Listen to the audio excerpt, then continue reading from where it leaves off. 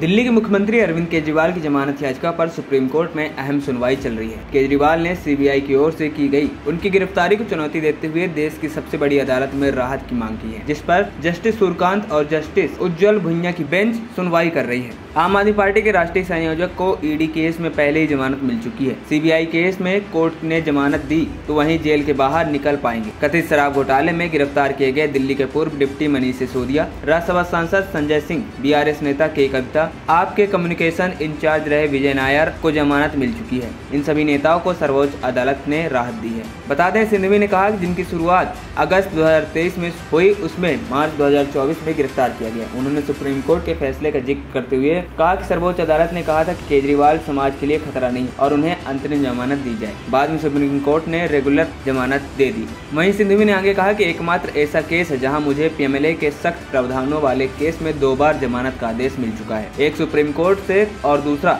High court से। इसके बाद भी सीबीआई ने इंश्योरेंस अरेस्ट किया हुआ है। आपको बता दें, शराब घोटाले में गिरफ़्तार संजय सिंह, के कविता और विजय नायर को सुप्रीम कोर्ट ने इस आधार पर जमानत दी है कि ट्रायल अभी शुरू नहीं हुआ है और आरोपी लंबे समय से जेल में बंद है। कोर्ट ने संविधान के अनुच्छेद इक्कीस का ज़िक्र करते हुए जमानत दी है। देश की सबसे बड़ी अदालत ने कहा की जमानत नियम और जेल अपवाद है। वही दिल्ली के मुख्यमंत्री अरविंद केजरीवाल को 25 जून को सीबीआई ने गिरफ़्तार किया है। उस समय पर ईडी की हिरासत में थे। कोर्ट से अनुमति लेकर सीबीआई ने उन्हें गिरफ़्तार किया। था। एएनपी टाइम्स की रिपोर्ट।